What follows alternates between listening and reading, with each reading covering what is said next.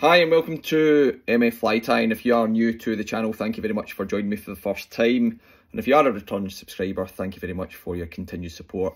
Hopefully, if you've not already subscribed, you do enjoy the video and you decide to hit that subscribe button. Um, now, I was on Skermorlie um, fishery up in Scotland yesterday, so first time that I visited uh, the water out in North Ayrshire run by a guy called John um, on arrival um, welcomed me to, to the fishery, gave me a bit of advice what was going on and what was working and um, had a bit of a chat with him. Um, it's well worth going across um, and giving Skelmorlie a, a go.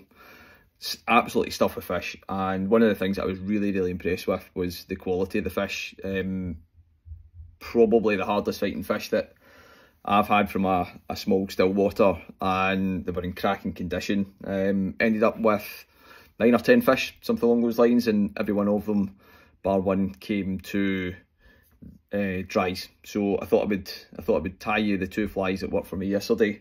Um, I do have some uh, footage as well that I'll be putting up on the channel. Uh, it takes a wee bit more time to edit those videos. Um, but in the meantime, have a go with these these two flies and I just want to explain um, how I was fishing them and what I was doing with the CDC in the front of it. So my wee girls just come in. Hello? You alright? Okay, right. Let's get tying. So just a black thread that I'm using. And this is a size 12. It wasn't size 12s that I was fishing yesterday. Um, it was size 16s and 18s but for the purposes of the video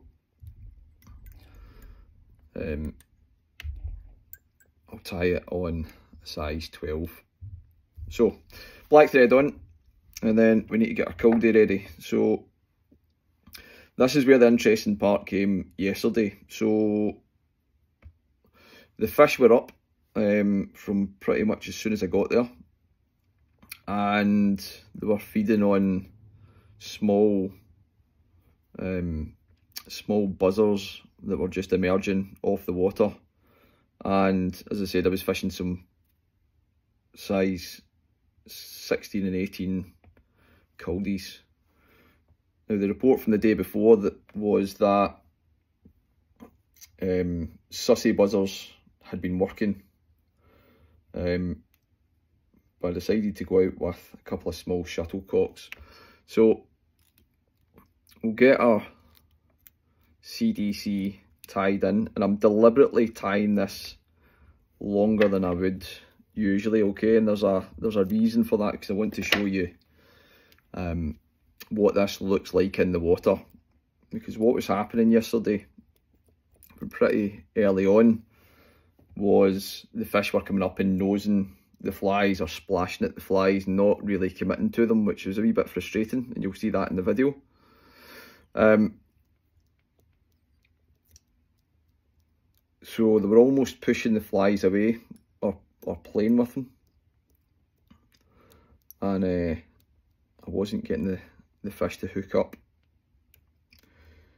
So what I decided to do was cut down the CDC. So that CDC is quite long, there's probably five or six plumes in it and there wasn't a big wave in the water so these were sitting quite proud um, on the top. So you can see them no problem. But the problem was the fish just weren't confident enough to come and take them off the top. And that was resulting in not not hooking up but getting offers. So what's the answer in that situation? And that's uh, not to necessarily change a fly because obviously they were coming up for a look so there was something that they did like about it but it just wasn't sitting properly for them. So I've just used FlexiFloss for the body, same as what you would do with a Vicar buzzer. And then I'm using this stuff here, this is a moleskin, black moleskin that I'm using just for the thorax. This is quite a fine material here, a very fine material. So you can create nice small thorax heads in these flies. So you don't want a lot of this. Remember this time of the year the buzzers are the buzzers are small. So you want to present a small fly for them. So that's that's us got the fly tied. Okay. We'll get it what finished. And then on to the next bit. So I'll show you I'll show you what I mean. I'm going to take this out the vise and hopefully the camera is set up properly. see if we can get this down here. I might need to play about with this a little bit. One second. There we go.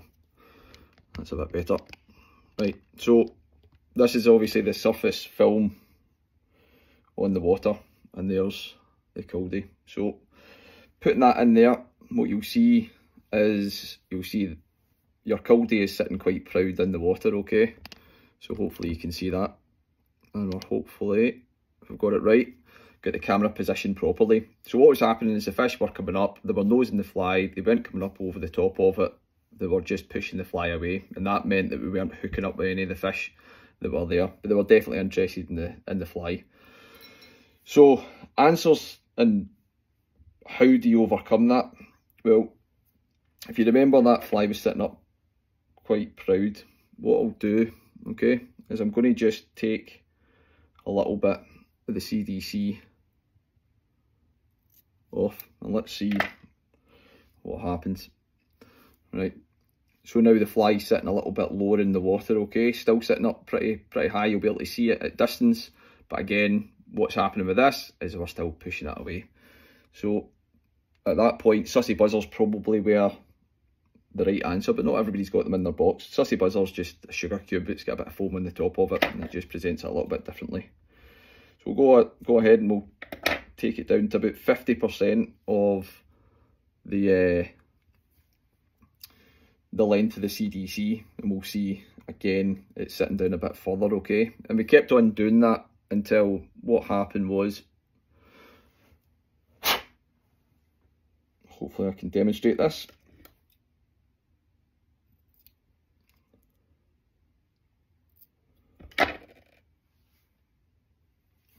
As we ended up with the fly just in the film of the water, okay? So you can't actually see that at all. Hopefully you can see it there. But you can just see the top of the, the shuttlecock, okay? Obviously this hasn't been treated, so a little bit of um, floating on that and it will it will sit up for you, okay? But that's how the flies were sitting. So they were sitting lower in the water, very similar to a um, sugar cube or a sussy. Don't get me wrong, they won't sit there all day, so there is a bit more effort that's required when you're drying off the flies because they will eventually sink and if any amount of wave, I don't mean a ripple but a wave in the water, you won't be able to keep them up.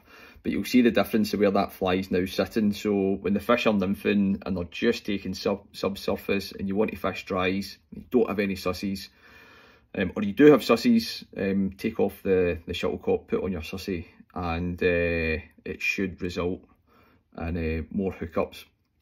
That was the answer yesterday and hopefully you'll see that in the video. So guys, if you found that interesting, if you found it um, that when you're out fishing dries that you haven't managed to hook up but they are coming up to them, give it a go, let me know how you get on and hopefully that's been helpful for you. So put that to the side so that you can actually see me. Um, I'm going to tie another couple of flies, we'll get them on. Um, but if you're not already subscribed, please hit the subscribe now button, button. And if you've enjoyed the video, give us a thumbs up. Thanks guys and tight lines.